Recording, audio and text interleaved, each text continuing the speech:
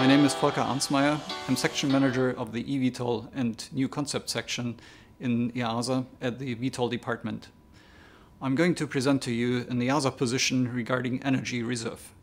I want to share with you the following subjects, which is to share with you the objectives that we want to follow up, the special condition VTOL requirements and an EASA opinion that is currently already existing, to share with you visibility of the VTOL flight phases and alternate landing sites, uh, to share with you the EASA approach in this context, and to come up to you with some of our conclusions. I want to share with you where in the SC VTOL we specify energy reserve. I also want to share with you what is the current context in the opinion of co commercial air transport regarding energy reserves. Uh, to also provide you an EASA position of how we want to continue with regard to the part UAM. And uh, last not least, to identify some of the potential challenges that we're looking at. To identify where the special condition VTOL defines energy reserve, we have this subpart E requirement, which in very brief terms puts out the requirement to define an energy reserve. EASA published in early October 2020 this opinion 02-2020 on fuel energy planning and management. It primarily introduces improvements for efficiency of fuel energy planning and management for commercial air transport airplanes. It also incorporates into the EU rules the latest ICAO requirements and amendments for fuel planning and management, as well as it clarifies and simplifies the rules for helicopter fuel energy planning and management, including also refueling with rotors turning. This EASA opinion has six most important implementing rules that would also drive elements for the eVTOL. In particular, there's one rule for the authorities for the approval of fuel schemes, as well as five rules that would address particularly the needs for operators. For example, to describe the general rule with description of the fuel energy schemes, plus additional requirements for individual schemes the fuel energy planning policy to address the quantity of fuel and energy, an aerodromes policy to define the selection of aerodromes as well as destination alternate, takeoff alternate, en route alternate, and the like things. The in-flight energy management, as well as, uh, for example, declaration of fuel energy mayday situations,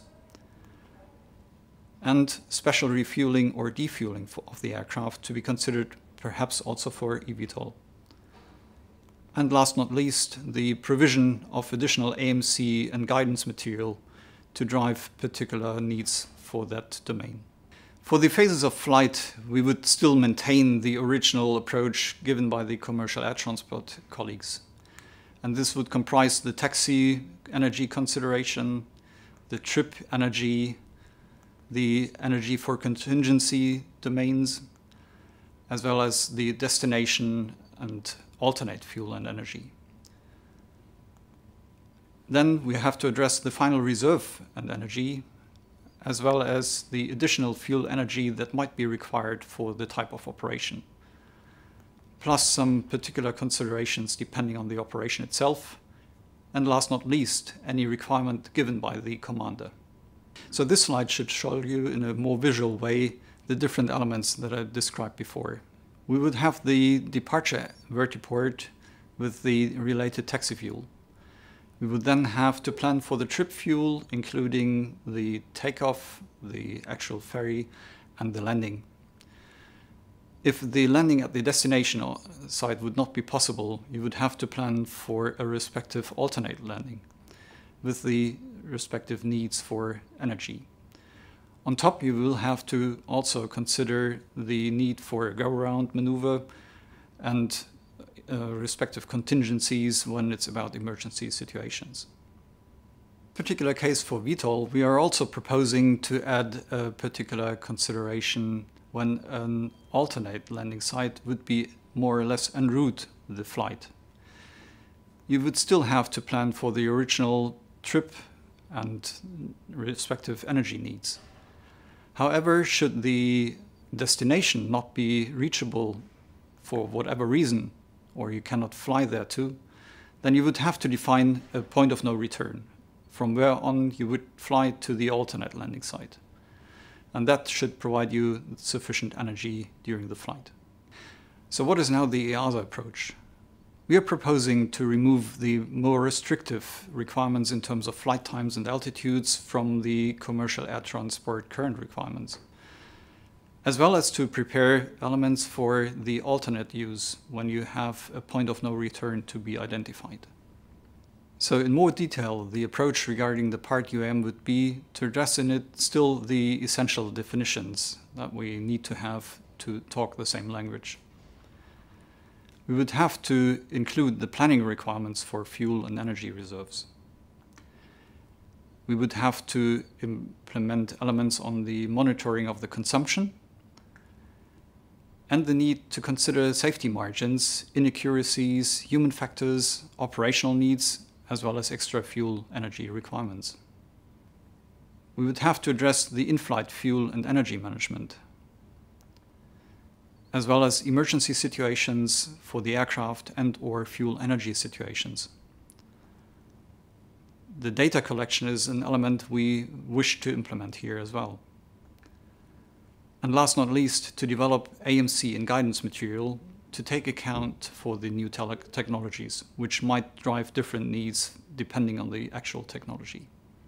So now we have two parts to address. On one hand, the special condition VTOL, as well as the part UAM. For the special condition VTOL, we wish to develop together with the industry the concepts for adequate fuel energy indications. We need to account for the battery technology at this time with the conditions and status information, with environmental conditions, as well as aircraft status or configuration. Furthermore, also the guidance on specifying the reserve energy with related triggers for a warning have to be implemented. All that work is already ongoing with the workgroup 112 of EUROCAE, where in the subgroups 1 and subgroup 6 relevant activities are ongoing. For the part UAM, we do have uh, an intention to drive the fuel energy policy with more performance-based terminology. To base on this RMT 0 to 30 related AMC and guidance material to cater for more details. The respective proposal for that wording has been made to the work group just a couple of weeks ago. So what are our conclusions right now? Well, we wish to continue with the current ongoing rulemaking activities and reuse most of the parts by still implementing some further uh, performance-based terminology. We wish to keep the historical approach in a principle but adopt it even further for the current technology needs. We are bound to have a strong cooperation with industry in order to make best use of the resources as well as to implement the best solutions for the rules. We will have a technical challenge in defining the sufficient energy reserve in order to trigger the warning but not each time during a routine operation. And last not least, the display of the energy consumption, the available energy, and the like is a big technical challenge, and the cooperation, as said before, with the industry is a strong need. Thank you for your attention, and I invite you to put forward your questions.